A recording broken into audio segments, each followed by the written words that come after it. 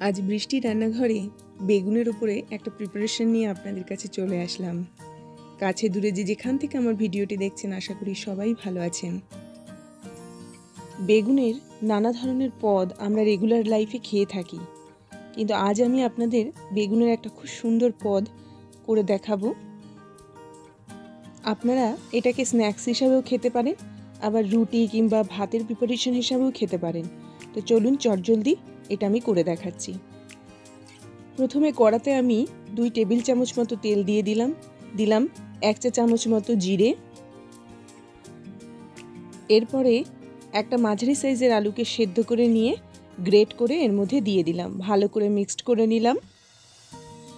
দিলাম সামান্য পরিমাণে একটু নুন এবং এক টেবিল চামচ মতো টক দই। এক চা চামচ মতো টমেটো সস, হাফ চা চামচ মতো হলুদ। খুব ভালো করে ভাজা ভাজা করে নেব মিক্সড করে নেব। এরকম ভাজা ভাজা করে একটা বাটির মধ্যে এবারে আমি তুলে নিলাম। এইবারে একটা প্লেটের মধ্যে আমি কিছু বেগুন নিয়ে নেব। একটা মাঝারি সাইজের বেগুনকে আমি এইরকমভাবে, ঠিক যেভাবে বেগুনি করা হয় সেইভাবে কেটে নিয়েছি। এবারে তারই একখানা পিস নিয়ে আমি এর মধ্যে একটা সেদ্ধ করা ডিমকে এভাবে বসিয়ে দেব। সঙ্গে যে আলুর পুরটা আমি তৈরি করেছিলাম সেই আলুর পুরটা এর মধ্যে খুব সুন্দরভাবে এইভাবে চেপে চেপে আটকে দেব।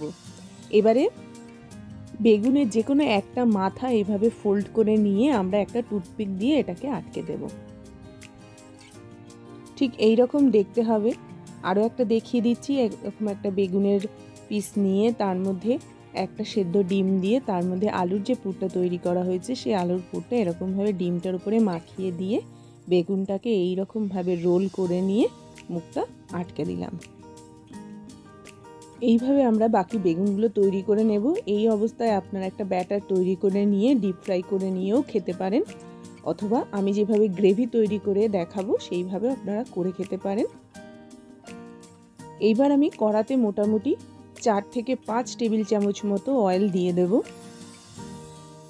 শুকনো মশলাগুলো দিয়ে দিলাম দুটো তেজপাতা, একটা শুকনো লঙ্কা। ভালো করে নেড়ে নিয়ে তিনটে কাঁচা লঙ্কা, দুটো দারচিনি, দুটো এলাচ, দুটো লবঙ্গ দিয়ে খুব ভালো করে নেড়ে নিলাম। দিয়ে দিলাম হাফ কাপ মতো পেঁয়াজ বাটা। পেঁয়াজটাকে দিয়ে খুব ভালো করে ভাজা ভাজা করে নিয়ে আমি এর মধ্যে দিয়ে দিলাম এক চা চামচ মতো রসুন বাটা।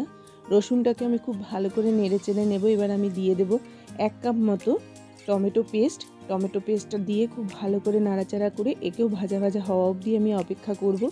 ঠিক এইরকম যখন ভাজা ভাজা হয়ে যাবে, আমি এর মধ্যে দিয়ে দিলাম কাজু এবং পোস্ত বাটা। এখানে প্রায় দু থেকে তিন টেবিল চামচ মতো কাজু এবং পোস্ত বাটা দেওয়া হলো। এবার এতে আমি হাফ চা চামচ মতো একটু হলুদ দিয়ে দিলাম, সঙ্গে দিলাম একটু জল, সঙ্গে দিলাম এক চা চামচ মতো জিরে গুঁড়ো, এক চা চামচ মতো ধনে গুঁড়ো এবং এক চা চামচ মতো লাল লঙ্কা গুঁড়ো। এটা একটু ঝাল ঝাল খেতে ভালো লাগে। আপনারা যদি ঝাল কম খান, তাহলে একটু ঝালটা কম দেবেন। মশলাটাকে খুব ভালো করে কষিয়ে নিতে হবে, ভাজা ভাজা করে নিতে হবে, সেদ্ধ হওয়া অবধি আমাদেরকে অপেক্ষা করতে হবে। আমরা ভালো করে নাড়াচাড়া করে নিয়ে দু তিন মিনিটের জন্য এটাকে একটু কভার আপ করে দিলাম। দু তিন মিনিট গ্যাসের মধ্যে এটা বেশ ভালো করে সেদ্ধ হয়ে গেল। এবার আমরা কভারটাকে ওপেন করে নিয়ে খুব ভালো করে আবারও নাড়াচাড়া করে নেব। এরপরে আমরা একটা বাটির মধ্যে দুই টেবিল চামচ মতো টক দইকে একটু জলের সঙ্গে খুব ভালো করে গুলে নিয়ে এর মধ্যে দিয়ে দিলাম। দিয়ে খুব ভালো করে নেড়ে চেড়ে নিলাম। এবার গ্রেভিটাকে খুব ভালো করে নাড়াচাড়া করে পাঁচ থেকে সাত মিনিট মতো আমি ফুটতে দেব। ফুটে উঠলে আমি এর মধ্যে নুন এবং চিনিটা অ্যাড করব। এখানে আমি পরিমাণ মতো নুন এবং এক চা চামচ মতো চিনি অ্যাড করলাম। এবার খুব ভালো করে লক্ষ্য করবেন একটা ডিমকে আমি এরকমভাবে ফেটিয়ে নিয়েছি। এবার এক একটা বেগুনকে নিয়ে আমি এরকমভাবে খুব সুন্দরভাবে ডিমে মাখিয়ে ঝোলের মধ্যে দেব। নর্মালি আপনারা বেগুনকে এইভাবেও দিতে পারেন, তাতেও কোনো অসুবিধা নেই, তবে ডিমের গোলায় ডুবিয়ে দিলে এর টেস্ট হবে অসাধারণ। গ্রেভির স্বাদ বাড়িয়ে দেবে অনেক গুণ বেশি। আপনারা দুটো পদ্ধতি অ্যাপ্লাই করতে পারেন। ডিম দিয়েও করে দেখতে পারেন, ডিম ছাড়াও করে দেখতে পারেন। দুটো গ্রেভির মধ্যে আপনারা অনেক বেশি পার্থক্য দেখতে পাবেন।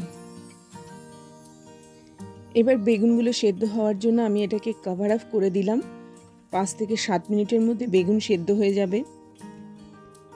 এবার এক একটা বেগুনকে উল্টে দেবো এভাবে ও টুথপিকটা ধরে নিয়ে আমরা ঠিক তাকে উল্টে দিয়ে অপর পিঠটাও ভালো করে সেদ্ধ করে নেব।